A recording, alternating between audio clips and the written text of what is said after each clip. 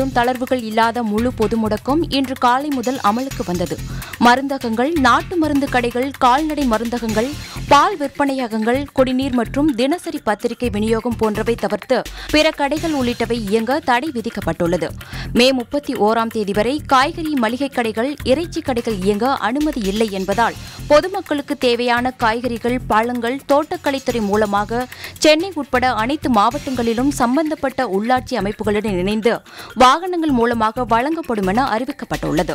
உணவகங்களில் உணவு வேளையின் போது பார்சல் சேவைக்கு மட்டும் அனுமதிக்கப்பட்டுள்ளது.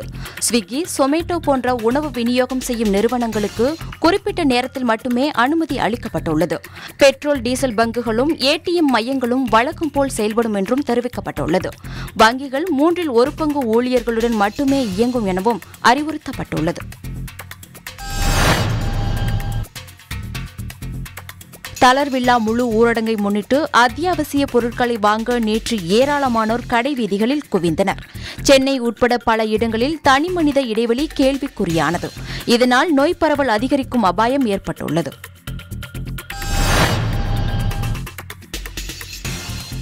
அரியலூர் மாவட்டத்தில் நேற்று பொதுமக்கள் தேவையான காய்கறி மளிகை உள்ளிட்ட பொருட்களை வாங்க வீதிகளில் குவிந்தனர்.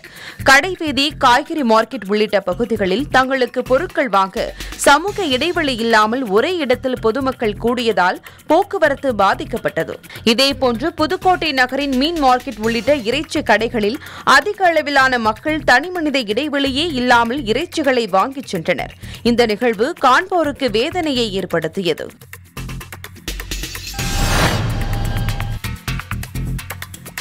தளர்வுகள் இல்லாத முழு ஊரடங்கு அமலுக்கு வந்துள்ள நிலையில் விதிகளை மீறினால் கடும் நடவடிக்கை எடுக்கப்படும் என சென்னை காவல்துறை எச்சரிக்கை விடுத்துள்ளது.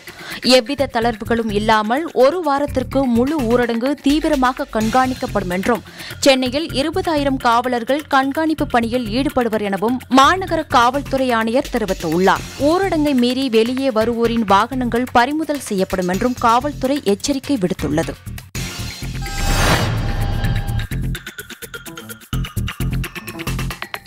விருதுநகர் மாவட்டம் ஸ்ரீவில்லிபுத்தூரில் முழு ஊரடங்கு காரணமாக கடைகள் அனைத்தும் அடைக்கப்பட்டு சாலைகள் வெறிச்சோடி காணப்பட்டன. நாமக்கல் மாவட்டம் பரமத்தி வேலூர் நகர் பகுதியில் அவசியமின்றி சுற்றித் திரிந்தவர்களின் இருசக்கர வாகனங்களை போலீசார் பறிமுதல் செய்து எச்சரிக்கை விடுத்து அனுப்பி வைத்தனர். நாமக்கல் மாவட்ட நுழைவு வாயில் பகுதியான பரமத்தி வேலூர் தேசிய நெடுஞ்சாலை காவிரி பாலத்தில் இ பாஸ் இன்றி வந்த வாகனங்களை திருப்பி அனுப்பினர். ராமநாதபுரம் மாவட்ட பேருந்து நிலையம் பரமக்குடி முதுகுளத்தூர் கமுதி கடலாடி சாயல்குடி உள்ளிட்ட பகுதிகளில் ஆள் நடமாட்டம் இன்றி பொது முடக்கத்திற்கு ஒத்துழைப்பு வழங்கும் வகையில் பொதுமக்கள் தங்கள் வீடுகளிலேயே இருந்தனர். ஈரோடு மாவட்டம் சத்தியமங்கலம் வழியாக தமிழகம் கர்நாடக மாநிலத்தை இணைக்கும் சத்தியமங்கலம் மைசூர் தேசிய நெடுஞ்சாலையில் அதிகாலை முதல் வாகனங்கள் நடமாட்டம் இன்றி வெறிச்சோடி காணப்பட்டது. விருதுநகர் மாவட்டம் அருப்புக்கோட்டையில் அனைத்து கடைகளும் அடைக்கப்பட்ட நிலையில் சாலைகள் வெறிச்சோடி காணப்பட்டன. முறையான ஆவணங்கள் இல்லாமல் சுற்றியவர்களை போலீசார் எச்சரித்து அனுப்பினர்.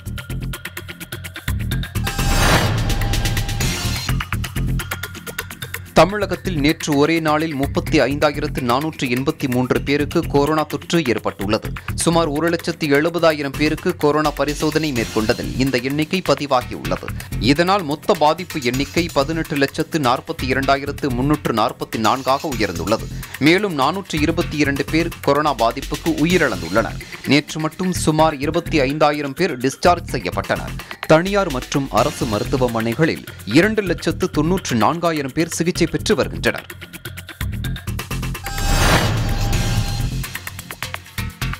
கொரோனா சிகிச்சைக்கு பயன்படுத்தப்படும் ரெம்டெசிவிர் மருந்தை பொதுமக்கள் ஆன்லைனிலோ அல்லது சமூக வலைதளங்கள் மூலமாகவோ வாங்க முயல வேண்டாம் என சென்னை காவல்துறை கேட்டுக் கொண்டுள்ளது. ஆன்லைன் மூலமும் போலியான வலைதளங்களிலும் பணம் செலுத்தி ஏமாறும் சம்பவங்கள் தொடர்ந்து அரங்கேறி வருகின்றன. இது தொடர்பாக சென்னையில் கிண்டி பல்லாவரம் தாம்பரம் உள்ளிட்ட காவல் நிலையங்களில் பதினான்கு வழக்குகள் பதிவாகியுள்ளன. ரெம்டெசிவிர் மருந்தை போலி ஆவணங்கள் மூலம் வாங்கி பதுக்கியதாகவும் அதிக விலைக்கு விற்றதாகவும் இதுவரை முப்பத்து நான்கு பேர் கைது செய்யப்பட்டுள்ளனர். இதையடுத்து இணையதளம் மூலம் முன்பணம் செலுத்தி ஏமாற வேண்டாம் என்று சென்னை காவல்துறை அறிவுறுத்தியுள்ளது.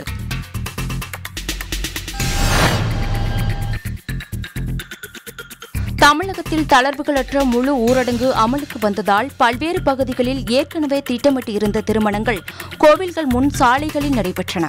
கடலூர் மாவட்டம் திருவந்திபுரம் தேவநாத சுவாமி கோவிலில் முன் உள்ள சாலையில் இருபதுக்கும் மேற்பட்ட ஜோடிகளுக்கு திருமணம் நடைபெற்றது. பெரம்பலூர் பெருமாள் கோவிலில் அதிகாலையிலேயே திருமணங்கள் நடைபெற்றன. குறைந்த எண்ணிக்கையிலான நபர்களே கலந்து கொண்டாலும் சிலர் முகக்கவசம் அணியாமலும் சமூக இடைவெளியை கடைபிடிக்காமலும் இருந்ததை காண முடிந்தது. அதேபோல் சிலர் ஊரடங்கு உத்தரவை மீறி கோவிலுக்கு உள்ளே சென்று திருமணம் நடத்தியதாகவும் தகவல்கள் தெரிவிக்கின்றன.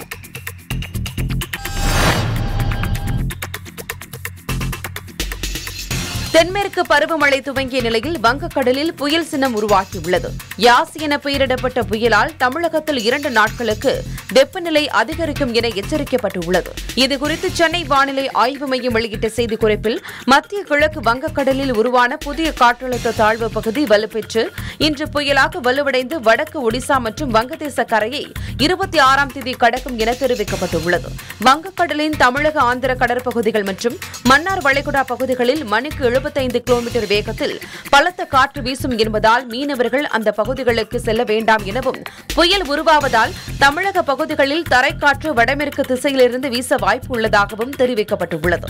இதன் காரணமாக கன்னியாகுமரி திருநெல்வேலி மேற்கு தொடர்ச்சி மலைப்பகுதி மாவட்டங்களில் மழை பெய்யும் எனவும் தமிழகத்தின் பெரும்பாலான மாவட்டங்களில் வெப்பநிலை அதிகரிக்கும் எனவும் சென்னை வானிலை மையம் தெரிவித்துள்ளது.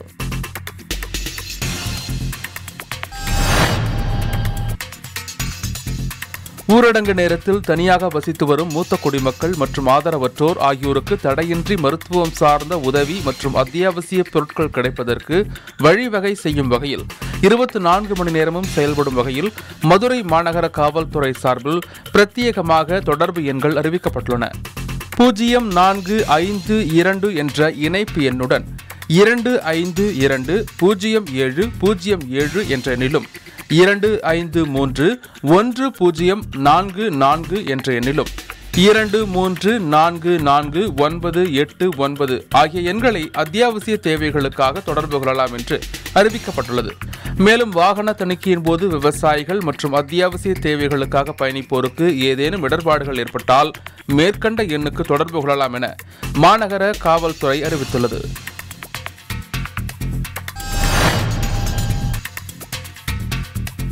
கேரளாவில் நேற்று ஒரே நாளில் மேலும் இருபத்தி ஐந்தாயிரத்து எண்ணூற்று இருபது பேருக்கு கொரோனா பாதிப்பு உறுதி செய்யப்பட்டது. கொரோனாவால் ஒரே நாளில் உயிரிழந்தோர் எண்ணிக்கை முதன்முறையாக நூற்று எண்பத்தி எட்டாக உயர்ந்துள்ளது. கொரோனா தொற்று பரவி வரும் நிலையில் கருப்பு பூஞ்சை பாதிப்பும் கேரளாவில் காணப்படுகிறது. கருப்பு பூஞ்சையால் இதுவரை பத்தொன்பது பேர் பாதிக்கப்பட்டுள்ள நிலையில் ஒருவர் உயிரிழந்தார்.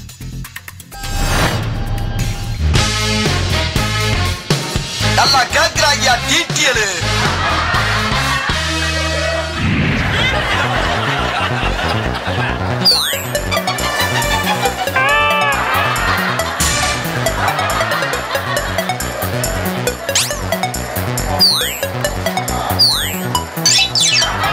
எத்தனை இலக்கணமா? தமிழ் இலக்கணம். தமிழ்ல சொல்றீங்களா? திடீர்னு கொஸ்டின் கேட்டா எப்படி பதில் சொல்றது? இலக்கணமா இலக்கணம் நிறைய இருக்குது.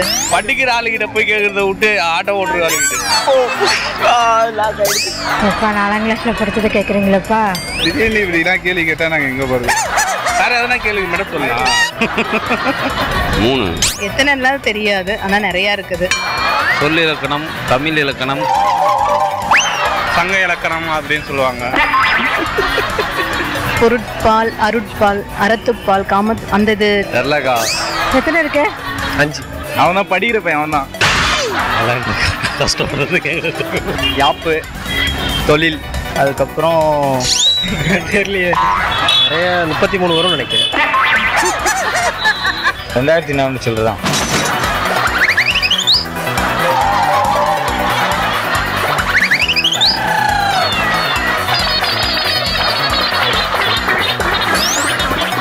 தெரிஞ்ச அணி இலக்கணம் பொருள் இலக்கணம் யாப் இலக்கணம் சொல் இலக்கணம் எழுத்து இலக்கணம் அஞ்சு இலக்கணம் இருக்குக்கா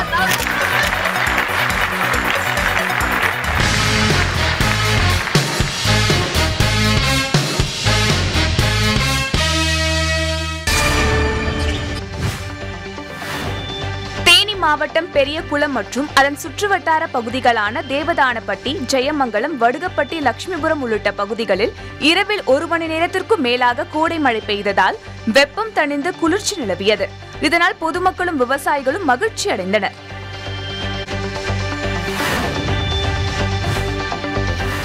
நாமக்கல் மாவட்டத்தில் நடைபெற்ற தேசிய முட்டை ஒருங்கிணைப்பு குழு கூட்டத்தில் முட்டை ஒன்றின் பண்ணை கொள்முதல் விலையை நான்கு ரூபாய் தொன்னூறு காசுகளில் இருந்து பதினைந்து காசுகள் உயர்த்தி ஐந்து ரூபாய் பூஜ்ஜியம் ஐந்து காசுகளாக விலை நிர்ணயம் செய்துள்ளனர்.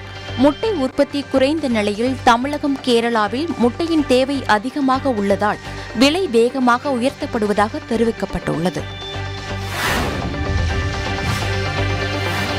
திருப்பூர் மாவட்டம் தாராபுரம் பகுதியில் வேளாண்மை விற்பனை மற்றும் வேளாண் வணிகத்துறை சார்பில் நடமாடும் காய்கறி விற்பனை தொடங்கப்பட்டது. அதன்படி உழவர் சந்தை சார்பில் ஆறு வண்டிகளில் காய்கறிகள் விற்பனை செய்யப்பட உள்ளன. பொதுமக்கள் காய்கறிகளை தேர்ந்தெடுக்க வேண்டாம் எனவும் அரை கிலோ ஒரு கிலோ என பேக் செய்து காய்கறிகள் விற்பனை செய்ய வேண்டும் எனவும் அறிவுறுத்தப்பட்டுள்ளது. இதன் மூலம் கூட்டம் கூடுவதை தவிர்க்க முடியும் என காவல்துறையினர் தெரிவித்து உள்ளனர்.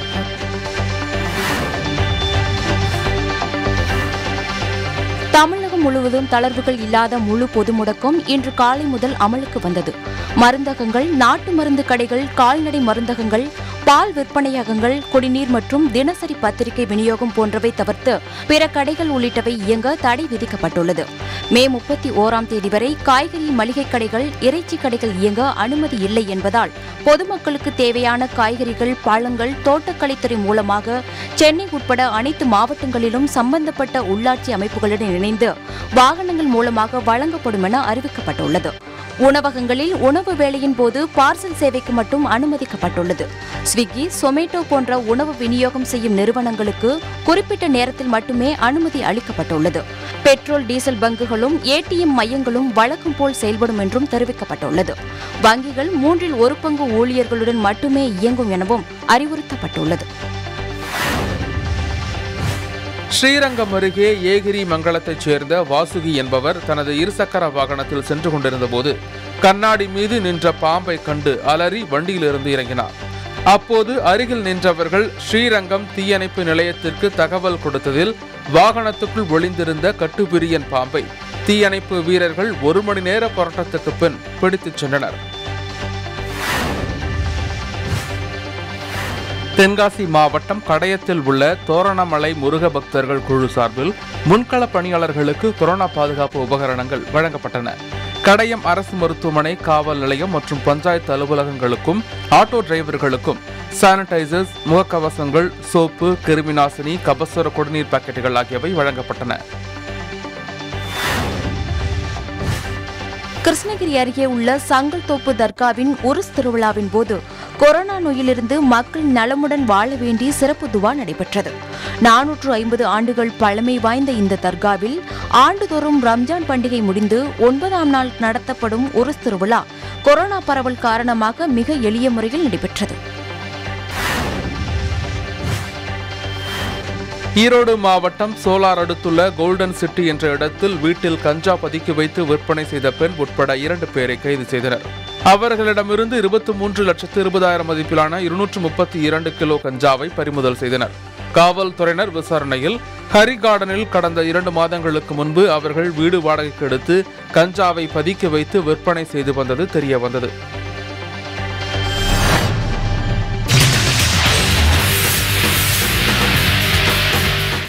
கொரோனா தடுக்கிறது வந்து நம்ம கையில் தான் இருக்குது. அரசாங்கம் சொல்கிறது எதுவும் நம்ம பின்பற்றதில்ல. எல்லாமே ரொம்ப அலட்சியமாக இருக்கிறாங்க. எல்லாமே வந்து ஒன்று கூடுறாங்க. எல்லாம் ஒன்று சேர்ந்துட்டு போகிறாங்க பஸ் ஏறிக்கிறாங்க. கோயில் திருவிழான்னு போகிறாங்க கூட்டம் சேர்ந்துக்கிறாங்க. ரொம்ப அலட்சியம். எதுக்கு எடுத்தாலும் ரொம்ப அலட்சியமாக இருக்கிறாங்க. ஒரே காரணத்தினால தான் கொரோனா வருது. கொரோனாவை தடுக்கணும் அப்படின்னாக்கா நாம் முன்னே ஜாக்கிரதையாக இருக்கணும். சத்தான உணவு சாப்பிட்ணும். அதுக்கு என்னென்ன தேவையோ நம்ம வீட்டில் யாரையும் வெளியே அனுப்பக்கூடாது முக்கியமாக நம்ம வந்து யாரோ ஒரு ஆள் தான் வீட்டை விட்டு வெளியே போகணும். முக்கியமான தேவைக்கு மட்டும் போகணும். மாஸ்க் அணியணும். சானிடைசர் போடணும். ஏன் வெளியில் போயிட்டு வந்தால் கை கால் கழுவிட்டு துணியை தனியாக கழட்டி போட்டுடணும். கொரோனா த வ- வரத்துக்கு காரணம் என்னன்னாக்கா அரசாங்கம் சொல்கிறபடி நம்ம கேட்கறது கிடையாது. எல்லாரும் நம்ம மக்கள் ஒன்று கூடுறோம். பஸ் ஏறுறோம். நம்ம நினச்சா எல்லாம் போய் சுற்றுலா தலத்துக்கு போகிறதும் ஒன்று கூடி போகிறதும் கோயில் குளம்னு போயிட்டுருக்கோம். அவங்க யாருக்காக சொல்கிறாங்க நம்மளுக்காக சொல்கிறாங்க நாம் அதுக்கு என்ன பண்ணணும்? அவங்க சொல்கிறத பின்பற்றி வீட்டில் இப்போ எங்களுக்கெல்லாம் கொரோனா வரலனாக்கா நாங்கள்லாம் என்ன பண்ணுறோன்னாக்கா இஞ்சி சாறு கவசர குடிநீர் நிலவேம்பு கஷாயம் இதெல்லாம் எடுத்துக்கிறோம். மக்கள் தங்களுடைய வீட்டிலிருந்து பாதுகாத்து கொள்ள வேண்டும். அத்தியாவசிய தேவைகளுக்கு மட்டுமே வீட்டிலிருந்து வெளியே செல்ல வேண்டும். அரசு அறிவுறுத்துகின்றபடி சானிடைசர் போன்றவற்றை வைத்து நம் கை கால்களை கழுவிக்கொள்ள வேண்டும். தேவையில்லாமல் வெளியே செல்வதை தவிர்க்க வேண்டும். அரசாங்கம் சொல்கின்ற அறிவுரைப்படி நடந்து கொண்டால் கொரோனாவை கட்டுப்படுத்த முடியும். ஒவ்வொரு ம மனிதனும் தனிப்பட்ட முறையில் அவங்கவுங்க குடும்பத்தையாவது பாதுகாத்துக்கிறதுக்கு முகக்கவசம் அணியணும் கபசர குடிநீர் குடிக்கணும் சட்டத்திட்டத்தை மதிக்கணும் எந்த சூழ்நிலையிலும் வீட்டை விட்டு வெளியே வராமல் இருக்கணும் நாங்களும் அது மாதிரி தான் இருந்துக்கிட்டு இருக்கோம். எல்லாரும் அவங்கவுங்க அவங்கவுங்கள பாதுகாக்கணும் அவங்கவுங்க குடும்பத்தை பாதுகாத்துக்கிட்ட இது தலையாய பிரச்சனை. மூணாவது ஆளாக கண்டிப்பாக வராத அளவுக்கு நாம் இதை உருவாக்கிக்கணும்.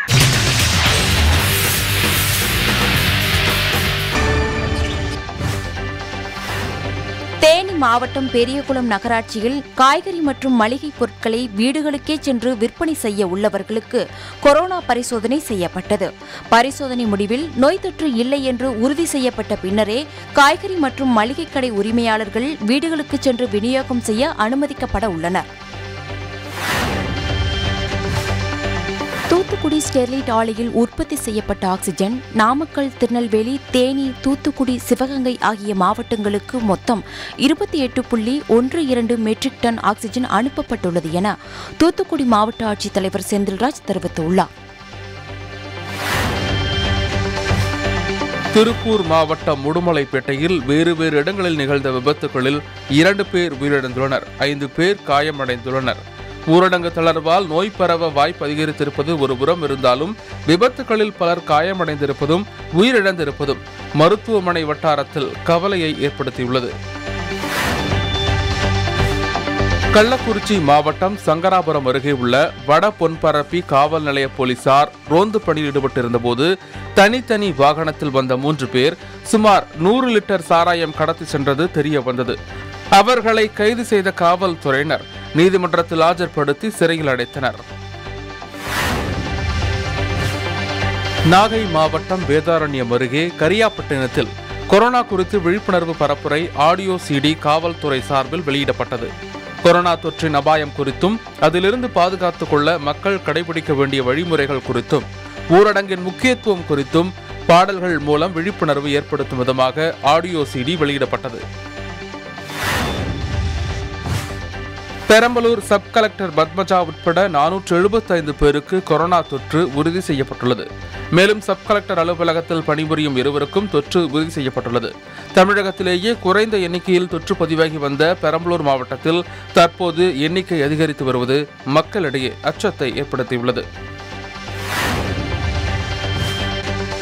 புதுக்கோட்டை அரசு மருத்துவக் கல்லூரி மருத்துவமனை அருகே கோடை வெயிலால் தண்ணீர் மற்றும் உணவின்றி தவித்த நூற்றுக்கும் மேற்பட்ட குரங்குகளுக்கு விஜய் மக்கள் இயக்கத்தினர் ஏற்பாடுகளை செய்துள்ளனர்.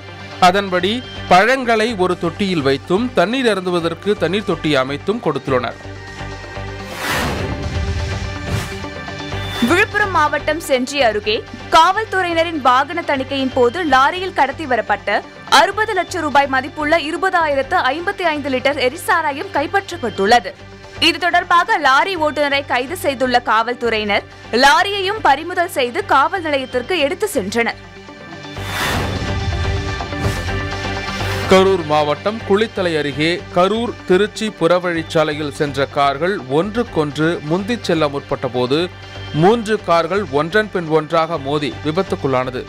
இதில் புது மாப்பிள்ளை உட்பட இருவர் உயிரிழந்தனர். இது தொடர்பாக வழக்கு பதிந்துள்ள காவல்துறையினர் அடுத்த கட்ட நடவடிக்கைகளை மேற்கொண்டுள்ளனர். விழுப்புரம் மாவட்டம் அரக்கண்டநல்லூர் அருகே அருணாவரம் ஒட்டம்பட்டு வயல் பகுதிகளில் அரக்கண்டநல்லூர் காவல்துறையினர் சோதனை செய்ததில் சுமார் ஆயிரத்து ஐநூறு லிட்டர் சாராயம் காய்ச்ச தேவையான ஊழல்கள் இருப்பது தெரிய வந்தது அதை தரையில் கொட்டி அழித்த காவல்துறையினர் வழக்கு பதிவு செய்து தீவிர விசாரணையில் ஈடுபட்டு வருகின்றனர். திருவண்ணாமலை மாவட்டம் செய்யாறு மார்க்கெட்டில் இயங்கி வந்த சேட்டு என்பவருக்கு சொந்தமான காய்கறி கடையில் நள்ளிரவு திடீரென தீ விபத்து ஏற்பட்டுள்ளது. இதில் அருகில் இருந்த கடைக்கும் தீ பரவியுள்ளது. விபத்தில் சுமார் பதினைந்தாயிரம் மதிப்புள்ள காய்கறிகள் எரிந்து சேதமானது என்பது குறிப்பிடத்தக்கது. சம்பவ இடத்திற்கு விரைந்து வந்த செய்யாறு தீயணைப்பு துறையினர் தீயை அணைத்து மேலும் பரவாமல் கட்டுப்படுத்தினர். இந்த விபத்து குறித்து போலீசார் தீவிர விசாரணை மேற்கொண்டு வருகின்றனர். திண்டுக்கல் புனித மரியன்னை மேல்நிலைப்பள்ளி மாணவர் விடுதியில் தற்காலிகமாக எண்பத்து ஐந்து படுக்கைகள் பேரிடர் மேலாண்மை துறை சார்பில் தயார் செய்யப்பட்டுள்ளன. பணிகள் அனைத்தும் முடிவடைந்த நிலையில் விரைவில் இந்த மையம் செயல்பாட்டுக்கு வரும் என மாவட்ட நிர்வாகம் அறிவித்துள்ளது.